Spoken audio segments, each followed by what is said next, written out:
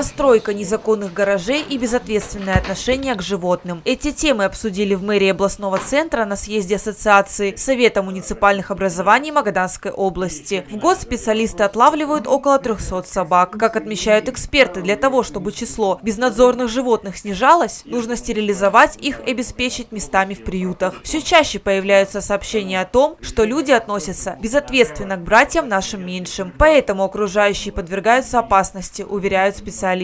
Главы районов, которые принимали участие, поручили мне от имени Ассоциации муниципальных образований подготовить э, инициативу в Магаданскую областную думу, а Магаданская областная дума является субъектом законодательной инициативы при принятии российских законодательных актов, внесения изменений в Кодекс об административных правонарушениях с тем, чтобы можно было людей, которые нарушают эти правила, которые создают вот такую нервозную обстановку в городе, все-таки наказывать.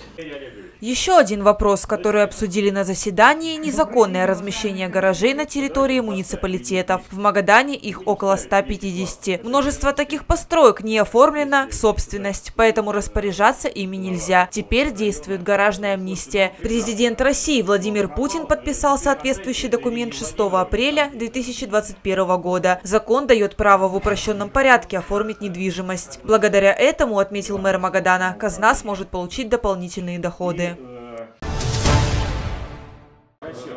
В мэрии Магадана прошло рабочее заседание по вопросам организации полумарафона «Забег РФ». Это масштабное спортивное мероприятие, в котором примут участие 85 городов по всей стране. Состоится спортивный фестиваль и на территории нашего города 30 мая. Заместитель председателя городской думы Антон Басанский выступил инициатором проведения всероссийского полумарафона на Колыме. Юрий Гришан, мэр Магадана, отметил, что он тоже примет участие в забеге. Для того, чтобы поучаствовать, необходимо зарегистрироваться на сайте забег.рф и выбрать дистанцию. Для первой тысячи участников полумарафона доступна бесплатная регистрация. 286 колымчан уже воспользовались этой опцией.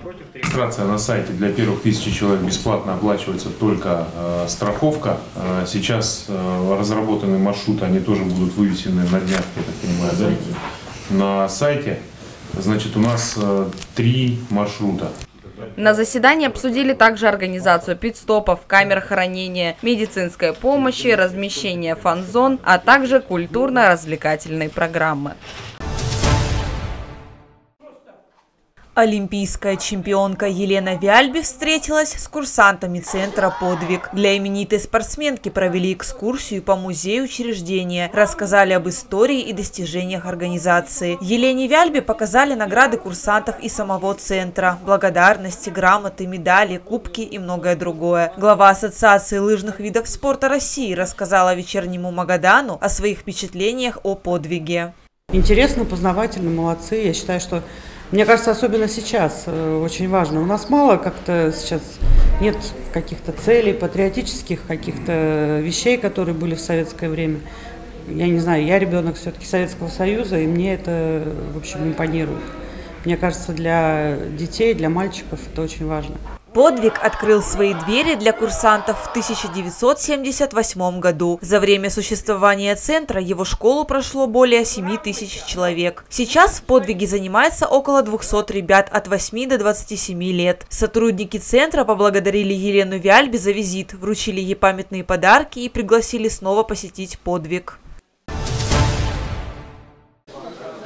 В Магаданской области прошла церемония открытия Всероссийского чемпионата «Молодые профессионалы WorldSkills Россия-2021». В поселке Стекольный на базе Хасынского филиала горностроительного колледжа участники из 16 регионов страны, победители отборочных этапов конкурса, будут соревноваться в четырех компетенциях управление бульдозером, управление автогрейдером, управление экскаватором, управление фронтальным погрузчиком. Конкурсант из Москвы рассказал о своем участии в чемпионате. Я представляю компетенцию управления фронтальным погрузчиком. Что предшествовало, хотелось знаний, хотел победить, хотел, так сказать, расширить свой кругозор. Вот поэтому я здесь. Расположились мы в поселке Стекольном Магаданской области, расположились в общежитии, и все отлично, условия идеальные. Встретили участников презентации работ учеников Магаданского кванториума. Сегодня на старте чемпионата мы представляем 5 из 7 наших направлений. В первую очередь, конечно, это автоквантум, а, где ребята как раз программируют и управляют, пилотируют а, модели автомобилей, а, которые созвучны да, тем компетенциям, которые заявлены на чемпионате. Сотрудники Центра занятости приглашали юных специалистов из других субъектов на работу в нашем регионе. Сегодня подходил э, значит, студент из Великого Новгорода, интересовался вакансией механик, автомеханик, и его вполне устроила зарплата, которую мы показывали в данных вакансиях, как бы, и в планах у него закончить обучение, вернуться к нам в область, приехать. Большое внимание было уделено организации всероссийского этапа чемпионата на Колымской земле, так как направления, представленные в нем, стратегически важны для поддержания лидирующих позиций региона по добыче руд и процветанию местной промышленности. Сегодня у нас 80 участников. Мы надеемся, что из этих 80 участников хоть какая-то частица, доля а, вернется к нам в Магаданскую область, будет у нас жить, работать и а, на процветание нашего региона. По словам Александра Басанского, концерном «Арбат» был выделен призовой фонд, который составил 1,8 миллионов рублей. Всегда, ребята, надо приветствовать то, что вы идете работать по достойным, рабочим, хорошим профессиям. Там хорошие заработные платы. И именно рабочие профессии – это войска, которые всегда делают производственную программу. Гостей на Колыме также поприветствовали творческие коллективы области. Теперь участников ожидает знакомство с культурой края и экскурсия в областной центр. Соревнования чемпионата продлятся до 22 апреля. В Магадане продолжается День дублера. Студенты высших и средних учебных заведений смогут попробовать себя в роли мэра Магадана и его заместителя. Проходит День дублера в несколько этапов. По словам организаторов, это мероприятие поможет молодым людям понять, чем занимается муниципалитет. Ирина Мурзабаева участвовала в Дне дублера в 2009 году. Девушка училась в Северо-Восточном государственном университете по специальности гос- и муниципальное управление, поэтому решила попробовать себя вне дублера. Мы попали вовнутрь, мы поняли, а, как там все работает, чем люди занимаются, какие структуры вообще есть и как весь этот процесс происходит. Нас познакомили прям лично со многими руководителями э, органов местного самоуправления мэрии. И это было очень интересно. Это нас погрузило, во-первых, в эту э, всю сферу. Э, во-вторых, мы более... У нас такой был активный состав. Э, мы поняли, что значит да, сидеть на этих местах. То есть у нас была возможность а, заменить на один день любого из руководителей органов местного самоуправления. Опыт был, несомненно, очень полезный. Ирина Мурзабаева на дне дублера заменяла руководителя отдела кадров мэрии Магадана. Рассказывает, что опыт ей пригодился – После окончания вуза девушка работала в правительстве Магаданской области. По словам Ирины, поучаствовать в Дне дублера нужно каждому инициативному студенту, особенно тем, кто хочет познакомиться с работой органов местного самоуправления.